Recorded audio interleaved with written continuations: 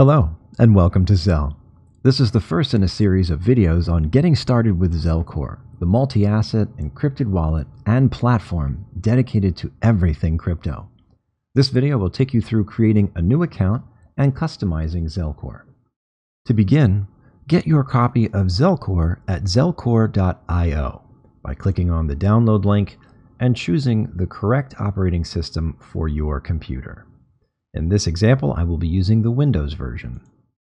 Once you have finished the installation process, an icon will appear on your desktop.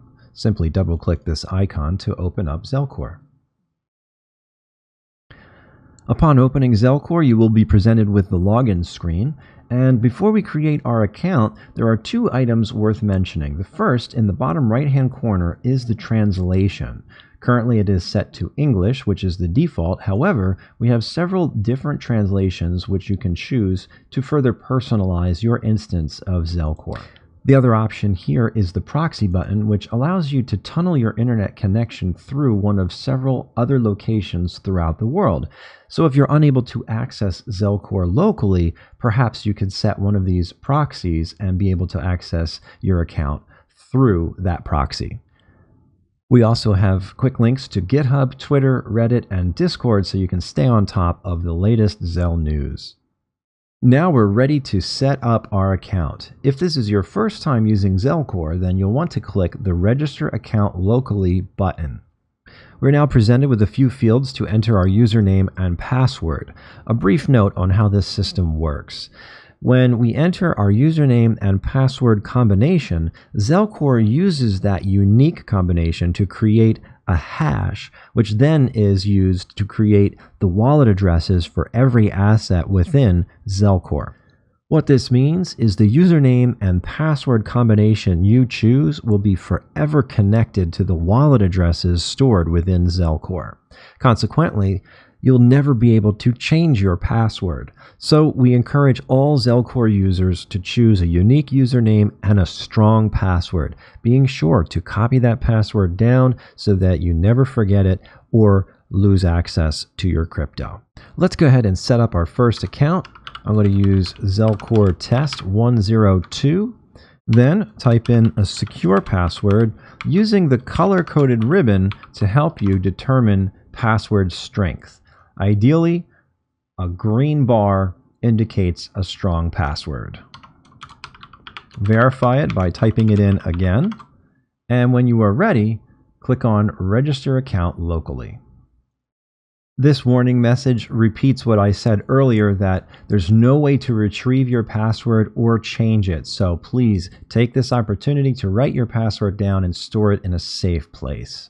When you're ready to register, click on the I'm aware register button. And we have a confirmation that our new account has been registered.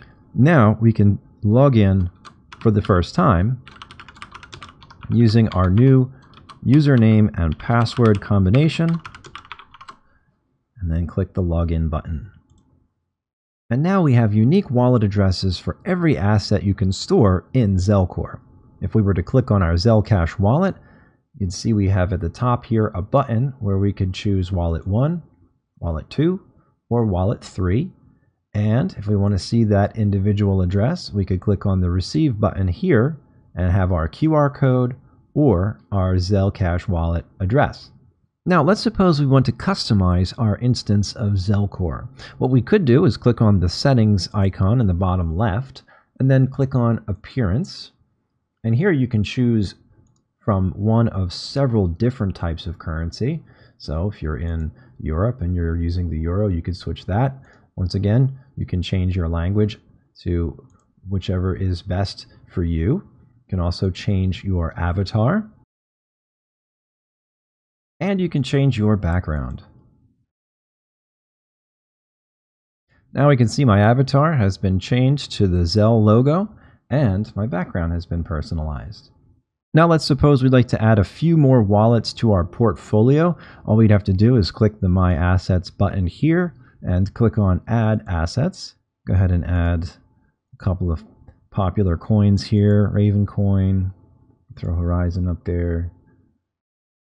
And then down in the ERC20 we have Binance, Got Maker here, 0x, Zilliqa, maybe some Kyber, KuCoin, ETHOS. And now you can see all of our assets have been added to the portfolio. And depending on the balance that we have for each of these wallets, you'll see that displayed very clearly up top. If you'd like to remove an asset, just go back to the My Assets button and click on Hide Assets, and then we can go ahead and take off a few of these.